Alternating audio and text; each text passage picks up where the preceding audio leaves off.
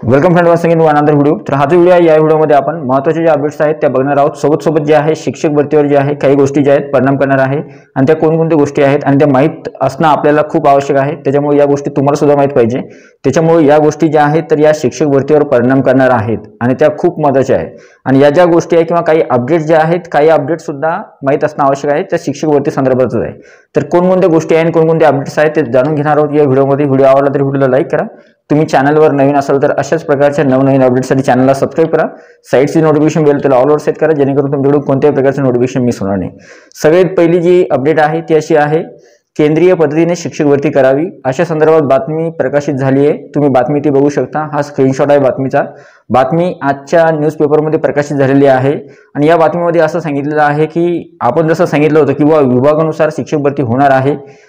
हे जे वक्तव्य आहे किंवा या संदर्भात जे आहे विचार करण्यात येतोय असं माननीय शालेय शिक्षण मंत्री जे आहे यांनी विधानभवनामध्ये सांगितलं होतं. आणि त्याच अनुषंगाने ही बातमी आहे. काही ठिकाणी स्थानिक संस्था ज्या आहेत किंवा काही स्थानिक संघटना ज्या आहेत त्या सुद्धा ज्या आहेत तर या बाजूने आहे की विभागानुसार शिक्षक झाली पाहिजे. आता या याच्यामध्ये असं सांगितलेलं आहे की डी एड आणि बी एड स्टुडंट असोसिएशनचे जे अध्यक्ष आहेत संतोष मगर सर यांनी असं सांगितलेलं आहे जर विभागानुसार शिक्षक भरती झाली तर आम्ही आंदोलनसुद्धा उभं करणार आहोत किंवा आंदोलन सुद्धा पुकारणार आहोत त्या विरोधात. त्याच्यामुळे जे आहे तर केंद्रीय पद्धतीने शिक्षक भरती करण्यात यावी असं त्यांची इच्छा आहे की विभागानुसार शिक्षक भरती न करता विभागानुसार जर शिक्षक भरती होत असेल तर हा विद्यार्थ्यावर एक प्रकारचा अन्याय आहे. तसं न करता डायरेक्ट केंद्रीय पद्धती जी आहे म्हणजे जसं आतापर्यंत शिक्षक भरती होत आलेली आहे तशा प्रकारची शिक्षक भरती करण्यात यावी. पुढची जी गोष्ट आहे ती आहे आरक्षण धोरण डावलून एखाद्या खाजगी संस्थेत. आता हा आजचा नवीन एक अपडेट आलेली आहे. मुंबई उच्च न्यायालयानं हा निकाल दिलेला आहे. काय आहे निकाल? आरक्षण धोरण डावलून एखाद्या खाजगी अनुदानित संस्थेने इतर उमेदवारांची नियुक्ती केल्यास त्यांच्या वेतनाची जबाबदारी ही संबंधित संस्थेची राहील असं सांगितलेलं आहे मुंबई उच्च न्यायालय यांनी. आता मुंबई उच्च न्यायालयाने हा निर्णय दिलेला आहे. त्याच्यामुळे जे आहे तर आरक्षण धोरण जे असतं म्हणजे आरक्षणानुसार जर एखाद्या खाजगी संस्थेत पद भरण्यात नाही आलेली तर त्यावेळेस तो जो संबंधित उमेदवार आहे त्याच्या पूर्ण जे वेतन असणार आहे ते वेतन अदा करण्याची किंवा वेतन देण्याची पूर्ण जबाबदारी ही त्या संस्थेची असणार आहे असं मुंबई उच्च न्यायालयानं स्पष्ट केलेलं आहे. तिसरी जी गोष्ट आहे ती आहे येणाऱ्या तुम्हाला माहीत आहे तुम्हाला कदाचित माहीत झालेला सुद्धा आहे की ब्रिज कोर्टचा निकाल जो आहे तो पंचवीस एप्रिलला लागणार आहे. पण इथं एक महत्वाची गोष्ट आहे की जोपर्यंत ब्रिज कोर्सचा निकाल येणार नाही तोपर्यंत शिक्षक भरती होणार नाही असं चित्र दिसतंय सध्या. कारण की तोपर्यंत हा ते उमेदवार लगेच आता टेन्शनमध्ये आले असतील. पण तोपर्यंत एक गोष्ट होऊ शकते पवित्र पोर्टलला जे आहे रजिस्ट्रेशन होऊ शकतं नोंदणी होऊ शकते. पण पंचवीस एप्रिलच्या दरम्यान किंवा पंचवीस एप्रिल नंतर जे आहे तर पुढील प्रक्रिया जी आहे ती राबवण्यात येऊ शकते किंवा जाहिराती जी आहेत येऊ शकतात पोर्टलला. आणि नंतर प्रायमरी टीचरसाठी म्हणजे उदाहरणार्थ प्राथमिक शिक्षक जे आहे वर्ग एक ते पाचसाठी तो जो निर्णय आहे किंवा ती जी प्रोसेस आहे ती मात्र ब्रिज कोलच्या निकालानंतरच होणार आहे.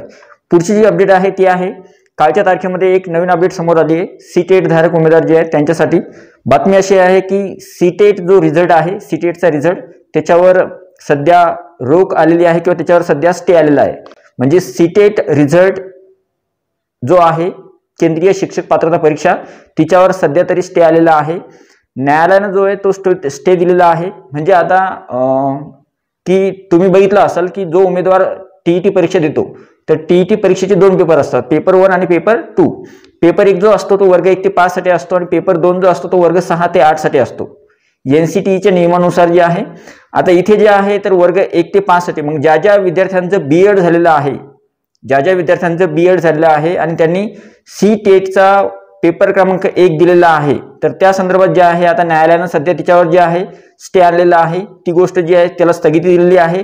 आता येणाऱ्या काळामध्ये वर्ग एक ते पाच साठी बी एड धारक एलिजिबल असणार किंवा नसणार. मग आता त्या मार्कशीट जे आहे किंवा सर्टिफिकेट जे आहे उमेदवारांमध्ये हा सुद्धा संभ्रम आहे की जे आता रिझल्ट लागलेला आहे सीटेट एक्झामचा पण ती जी मार्कशीट आहे डिजिलॉकरमध्ये येणारी किंवा ती जी सर्टिफिकेट आहे जी डिजिलॉकरमध्ये येणाऱ्या काही दिवसामध्ये त्याच्यावर आता स्थगिती येणार आहे का? किंवा ते सर्टिफिकेट थोडं लावणार आहे का? या संदर्भात जी आहे माहिती लवकरच कळेल आणि ती अपडेट तुम्हाला कळवली जाईल. पण सध्या तर जी आहे सीटेट निकालावर जी आहे स्थगिती आलेली आहे. पुढची जी गोष्ट आहे ती आहे टेट परीक्षेसंदर्भात जी याचिका आहे तिच्यावर दहा तारखेला सुनावणी होणार आहे. तुम्हाला माहिती आहे औरंगाबाद खंड खंडपीठामध्ये जी आहे याचिका दाखल करण्यात आलेली आहे टेट परीक्षेच्या संदर्भात त्या याचिकेवर जी आहे दहा तारखेला सुनावणी होईल. सुनावणी झाल्यानंतर जे आहे जो काही निर्णय येणार आहे कोर्टाचा त्या निकालानंतरच जे आहे तर कदाचित पुढील भरती प्रक्रिया जी आहे म्हणजे आतापर्यंत तुम्ही बघितलं असेल की आतापर्यंत पवित्र पोर्टलला रजिस्ट्रेशन करण्यासंदर्भात कोणत्याही प्रकारची सूचना आलेली नाही. येणाऱ्या काही दिवसामध्ये ही सूचना येऊ शकते. परंतु आजची जी आहे सहा सात तारीख आहे. जवळपास आजचे सहा सात तारखेच्या दरम्यान म्हणजे आजची सात तारीख आहे. आणि दहा तारखेला हा निकाल आहे. किंवा दहा तारखेला याची सुनावणी होईल.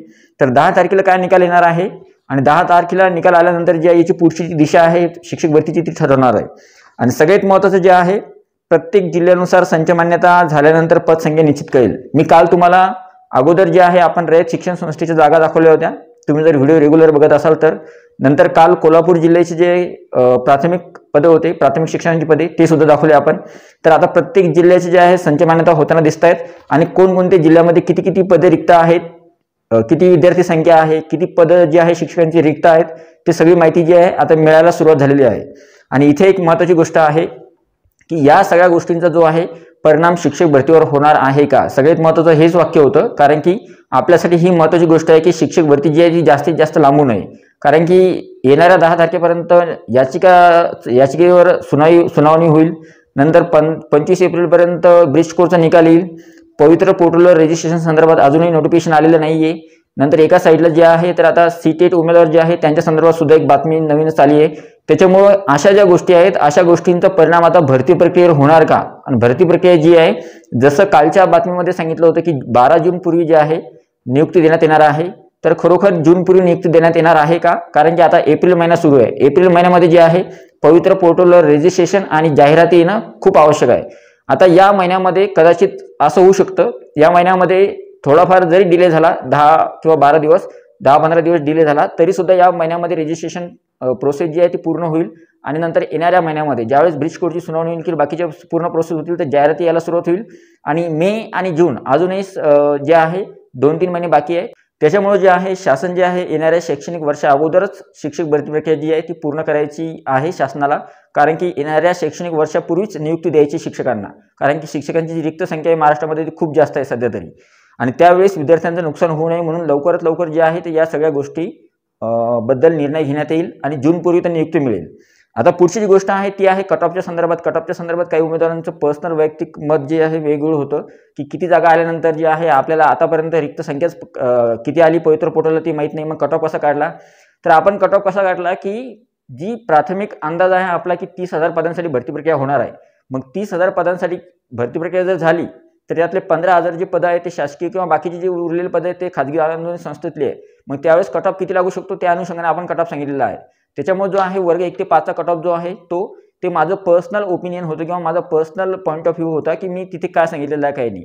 मला जे वाटलं की ते ते त्या त्या गोष्टी आहे की इथपर्यंत कट ऑफ येऊ शकतो या या कास्टचा तिथपर्यंत मी सांगितलं आहे हा जो कट ऑफ आहे याच्यामध्ये फ्लक्च्युएशन किंवा याच्यामध्ये चेंज होऊ शकतो. त्याच्याबद्दल उमेदवार जे आहे प्रत्येक उमेदवाराचं ओपिनियन जे आहे वेगवेगळं असू शकतं. आणि याच्यानंतर जे आहे वर्ग सहा ते आठ वर्ग नऊ ते दहा आणि वर्ग अकरावी बारावी याच्या संदर्भात सुद्धा लवकर जे आहे कट ऑफचा व्हिडिओ येईल. आय होप तुम्हाला हा जो व्हिडिओ आवडला असेल व्हिडिओ आवडला तर व्हिडिओला लाईक करा. तुम्ही चॅनलवर नवीन असाल तर अशाच प्रकारच्या नवीन अपडेटसाठी चॅनलला सबस्क्राईब करा. साईटचं जे नोटिफिकेशन बिल त्याला ऑलवर सेट करा जेणेकरून तुमच्याकडून कोणत्याही प्रकारचं नोटिफिकेशन मिस होणार नाही. तुमच्या मनामध्ये काही डाऊट डिफिकल्टी असतील तर तुम्ही कमेंट बॉक्समध्ये विचारू शकता. One second video बघितल्याबद्दल thank you so much take care bye bye आणि माझं एक नवीन चॅनल आहे डिस्क्रिप्शनमध्ये लिंक आहे त्याला सुद्धा सबस्क्राईब नक्की करा. Thank you so much